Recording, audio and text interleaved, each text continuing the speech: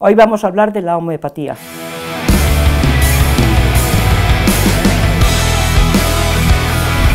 Se ha estado administrando eh, hace muchos años eh, como una sustancia em, que curaba enfermedades y que a base de tomarlas se suponía que iba a ir mm, aminorando la posibilidad de cogerte una otitis o una infección de garganta.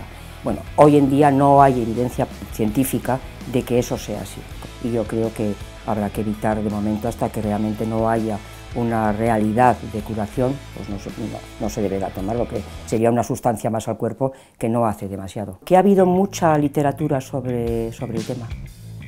Ha habido mucha literatura, ha habido una época en que era una, una sustancia que podía servir para no tomar tanta medicación tradicional, la medicina, y bueno, pues la gente nos lo creíamos. Tengo alrededor gente que la ha tomado, gente muy inteligente, quiero decir, que esto no era una cuestión de no conocer, para empezar ya el tamañito te da la sensación de que no te puede hacer daño a ninguna parte, porque son pastillitas muy pequeñas.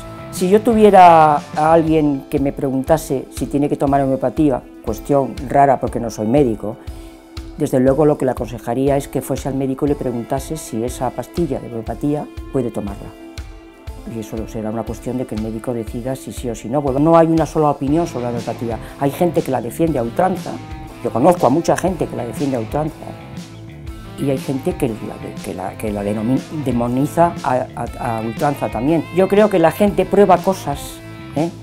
incluida la homeopatía, y es un efecto placebo el que tiene, que el que le hace. Pero el efecto placebo es bueno, porque muchas veces te duele la cabeza y tú te lo sugestionas que no te duele y deja de dolerte.